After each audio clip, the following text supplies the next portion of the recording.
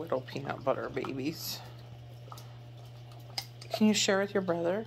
Uh, Snowden have some. Here you go, big boy.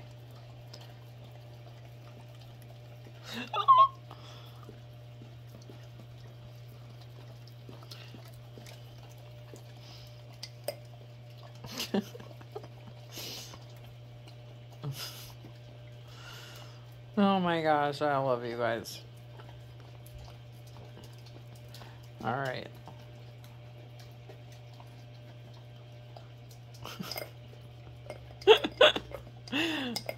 okay, can your brother have one last little psh, psh.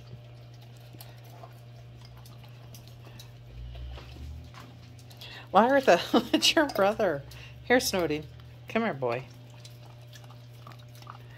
He's like, yeah, mom. Yeah, mom, that's my favorite stuff. My sister's trying to hog it all. really, honey? You like it that much? Oh, my word.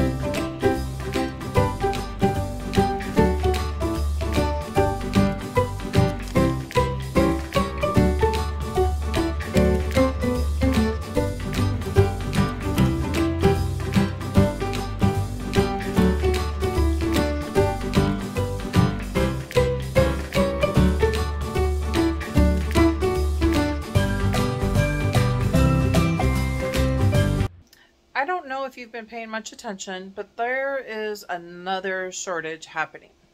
So, some of my friends in the restaurant industry were telling me that they're only getting about 60% of um, the orders that they're placing, they're limiting. And I don't know if that's everywhere, but it certainly seems that way if you watch the news at all. Uh, and obviously, I do not watch mainstream media because I think it's all a bunch of crap. But uh, there's a lot of other good news outlets that are actually reporting. I don't want to get into that. But what I do want to let you know is yes, there's absolutely shortages happening. Oh my gosh. So I went to Costco because I do not want to ever run out of toilet paper again. For the Charmin, they have these great big packs. Um, the, uh, the 30 packs of toilet paper you can get down there, but sometimes they only have the Kirkland. Well, I just went last week and lo and behold, it's back down. It was limited to two rolls. Now they didn't have any Charmin in and only the Kirkland. Okay, so as I was saying, they only have the Kirkland. It was one pallet and you were only allowed one. They had no paper towels, uh, three boxes of Kleenex. I do, uh, as you're seeing my some of my preps in here, um, I do stock up on like maybe once a month I get one of these food supplies. They didn't have those anymore. They only had I think five or six of the Mountain House. I do try to stock up on laundry when I can. I have tons of water tucked in all kinds of tuck in places here. But yeah, so toilet paper is definitely an issue. And that's something that we need to take into consideration. Some of the other things I have, um, if you've watched other videos, you'll know that I do Mylar bags and I get them stocked up. I do big bags or I can take a big bag, cut the bag in half, and then put multiple bags inside of one singular, singular uh, five gallon bucket. And that way I don't have to open a great big bag if I don't have to. Um, so that's something that we really need to watch out for. Other things that I'm noticing, I like to stock up on these Idaho Spuds. Uh, they're a great um, easy prep to kind of have on the side. And I have, I think I currently have two full boxes of them, but I saw none when I was there. Um, I've got a peanut butter there and some up there, and that's it. I went to get more, um, and somebody took the last one as I was rounding the corner there. So that's something else to kind of watch for. Uh, they did, oh, my light shut off. Not that I'm a big fan of it, but the canned chicken, they did have some of that there. Um, they had one area on a shelf with some coffee. I've been stocking up here and there. I think I've got another one, yeah, up there. And so, oh, and then I have some down there. I am not going to run out of coffee either, but they did not have any molasses at all. Uh, they were getting low on the tomato sauces. I did not pick one up. I should have, but I just didn't have room in my cart. So there's certain things that are starting to get low. Um, I did pick up some Quaker oats, but that was the very last one. I grabbed the last one. I went ahead and got more oil. Not that I need it right this second, but just in case. And some um, granola bars. Biggest concern was like getting baby wipes, paper towels.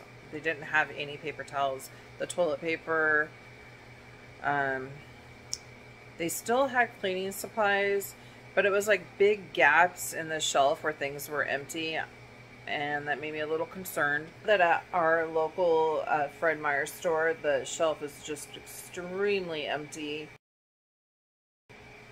There's so many things that aren't there. It's, it's actually quite ridiculous. And um, I think Safeway was kind of getting that way too. So I just want to encourage everybody, don't wait till it's too late. Don't be that person that waits to the last minute. So let's talk about getting started um, with your supplies on hand. I highly encourage you to every single week pick something up. You must get water on hand. Water is life. Without water, you can't survive. The most important thing to do is get water. Everybody needs water to survive. Without it, you have nothing. The second thing you need to do is to make sure that you have food for you and your family to eat. It is critical that you have food. Without food and without water, you will not survive, and the object is to survive. Do you have a way to protect yourself? Do you have a backup plan to protect yourself? I suggest you find many ways. We don't always have to have pew-pews, but those are definitely a great thing to have on hand, and I happen to love mine. There's There's only one hole in the red though. So go for the top dots. The right or left, I don't care. The top dot, same target. A little bit